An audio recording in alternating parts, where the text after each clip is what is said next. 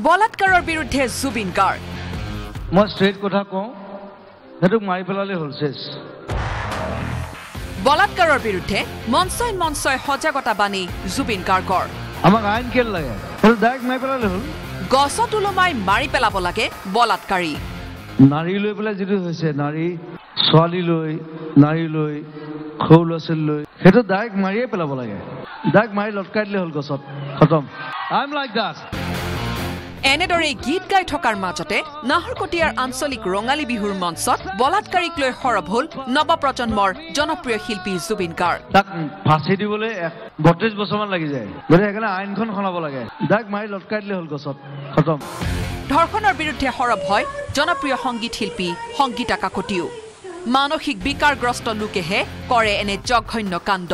নাৰী ধৰ্ষণ কৰে বা নাৰীৰ ওপৰত যিসকলে অত্যাচাৰ কৰে সেইসকল ব্যক্তি মই ভাবোঁ তেওঁলোক মানসিকভাৱে বিকাৰগ্ৰস্ত।